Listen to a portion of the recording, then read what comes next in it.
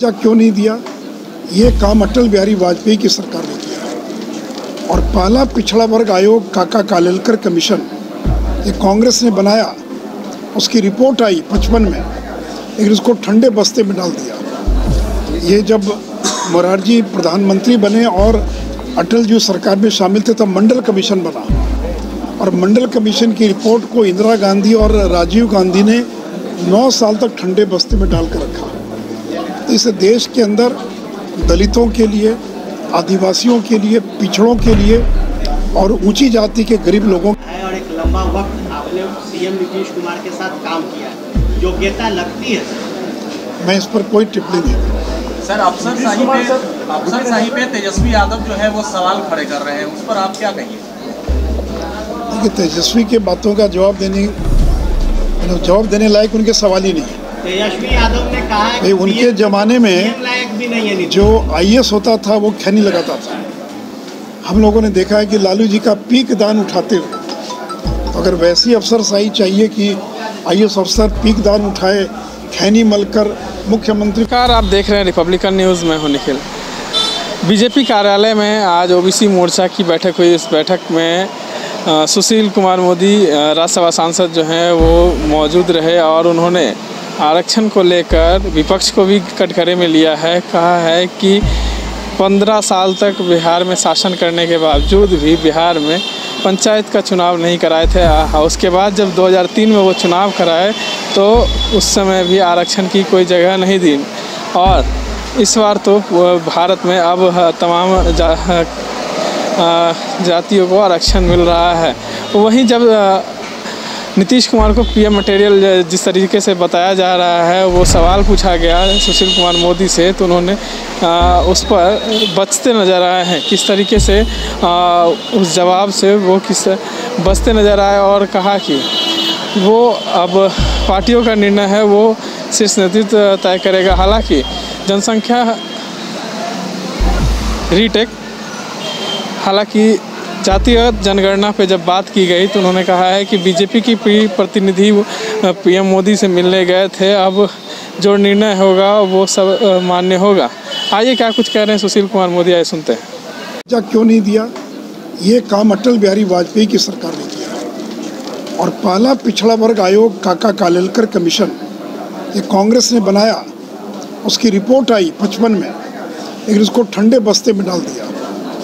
ये जब मोरारजी प्रधानमंत्री बने और अटल जी सरकार में शामिल थे तब मंडल कमीशन बना।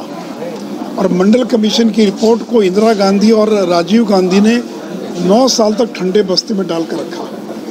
तो इस देश के अंदर दलितों के लिए, आदिवासियों के लिए, पिछड़ों के लिए और ऊँची जाति के गरीब लोगों के लिए अगर किसी सरकार ने काम किया है तो या तो जिस सरकार में जनसंघ और बीजेपी शामिल थी या फिर नरेंद्र मोदी ने काम किया है। इसलिए जो पिछड़ों के लिए अगर कोई सोचता है गरीबों के लिए कोई सोचता है तो गरीब का बेटा नरेंद्र मोदी सोचता है।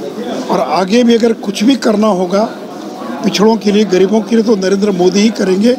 ये कांग्रेस राजद के लोग ये नहीं कर सकते। आरजेडी कहती है कि गरीबों के नेता लालू यादव हैं पिछड़ों पिछड़ों के लिए वो काम किए हैं। इसलिए तो मैंने कहा कि बताएँ ना कि तेईस साल तक पंचायत का चुनाव क्यों नहीं हुआ? अगर होता चुनाव तो दलितों को आरक्षण का प्रावधान था और आपने पहला चुनाव कराया तो बिना आरक्षण दिए चुनाव क्यों करा दिया?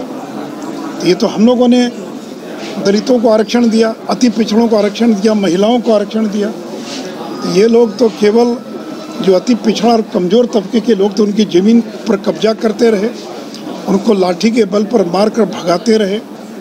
इसलिए आज अति पिछड़ा समाज पिछड़ा समाज वो बीजेपी के साथ है एनडीए के साथ है। Sir Nitish Kumar PM material है क्या सर?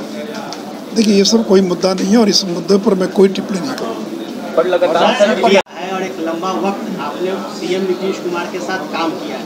योग्यता लगती है सर? मैं इस पर कोई टिप्पणी नहीं करूँगा।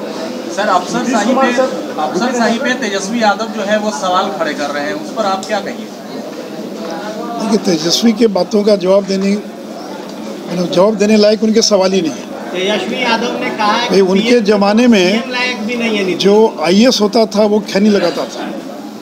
हम लोगों ने देखा है कि लालू जी का पीक दान उठाते हुए तो अगर वैसी अफसरशाही चाहिए कि आई अफसर पीक दान उठाए खैनी मलकर मुख्यमंत्री को खिलाए तो उन्हीं को मुबारक हो वैसी अफसर शाही पिछले दिनों नरेंद्र मोदी से मुलाकात की नीतीश कुमार ने। जातीय जनगणना होगी सर?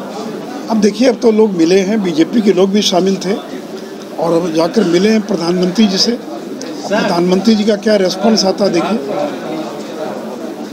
तेजस्वी यादव ने कहा है कि पीएम तो दूर की बात है सीएम लायक भी नहीं है नीतीश जी। मैंने कहा मैं इन चीज़ों पर कोई टिक्का टिप्पणी नहीं करूँ धन्यवाद सर। रिपब्लिकन न्यूज़ से जुड़ने के लिए सब्सक्राइब बटन दबाकर चैनल को सब्सक्राइब करें। नोटिफिकेशन प्राप्त करने के लिए यहाँ बेल को दबाएँ। वीडियो अच्छा लगे तो लाइक करें। और दोस्तों के साथ शेयर करना ना भूलें।